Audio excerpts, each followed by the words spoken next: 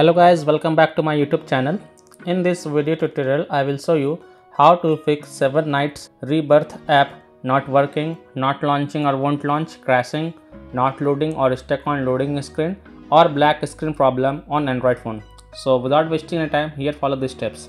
The first solution is to simply restart your device. So simply restart your Android device and after your device restart, then you can launch the game and check. Second solution is to check for 7 Knights Rebirth app update. So open Play Store, tap on search, search for 7 Knights Rebirth and tap on it. And if you see any update option available for this game, then simply update it and then you can launch the game and check. Third solution is to check internet connection. So make sure that your internet is working properly. Now if you are connected to Wi-Fi then switch to mobile data and check and if you are connected to mobile data then switch to Wi-Fi and then launch the game and check. If possible then try to connect to different Wi-Fi or mobile data via hotspot and then check your problem is solved or not.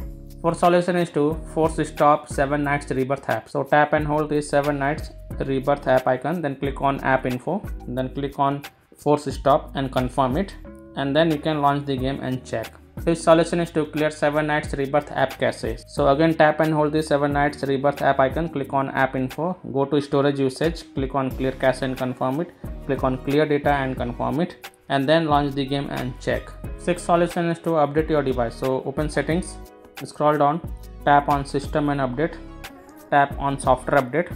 And now if you find any updates for your Android device then kindly update it. And then you can launch the game and check.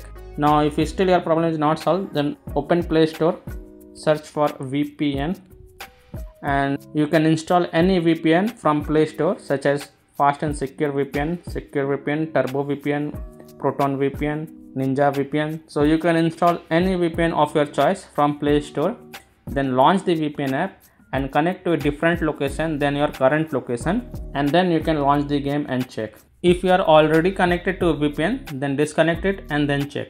And the last solution is to simply uninstall and reinstall 7 Knights Rebirth app. If none of these solution work, then tap and hold the 7 Knights Rebirth app icon, then click on uninstall and then again click on uninstall to confirm. Then restart your device once. After the restart, open Play Store, tap on search, search for 7 Knights Rebirth and tap on it and then click on install button to reinstall it and when this game reinstall and then you can launch the game and check if your problem is solved or not. So i hope by this way you were able to fix 7 knights rebirth app not working not launching or won't launch crashing not loading or stuck on loading screen or black screen problem on your phone. So that's all for this video. If this video helped you then please like and subscribe to my channel. Share this video and hit the bell icon to get the latest updates. Thank you